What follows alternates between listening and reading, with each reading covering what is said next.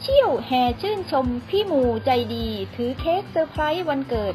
หนุ่มเจอจับขี่รถเร็ว ร้องไห้หนักมีปัญหาทางบ้าน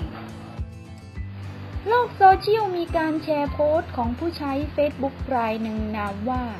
กนกพันธ์พุทธพงศ์ซึ่งเป็นเฟซบุ๊กของสิบตำรวจตรีกนกพันธ์พุทธพงศ์ ซึ่งพร้อมด้วยเจ้าหน้าที่อีกนายหนึ่งคือสิบตำรวจตรีเจษดา พิราสอนผอบอหมู่สอนอสามเสนถือเค้กไปอวยพรวันเกิดให้กับน้องคนหนึ่ง ซึ่งถูกเรียกตรวจหลังขี่รถเร็ว ก่อนจะลงมานั่งร้องไห้ เมื่อสอบถามก็ได้ความว่าวันนี้เป็นวันเกิดของตัวเองแต่กลับมีปัญหากับทางบ้าน เจ้าหน้าที่เลยให้ไปนั่งสงบสติอารมณ์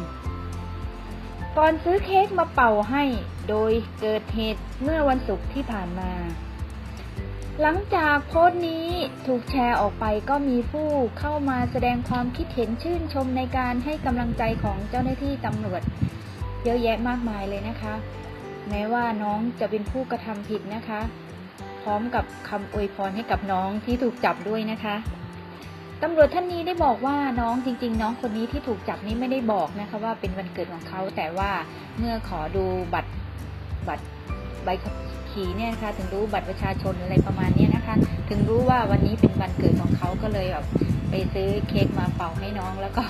น้องก็ยังร้องไห้อยู่นะคะ แล้วก็กล่าวขอบคุณนะคะ นี่เป็นเรื่อง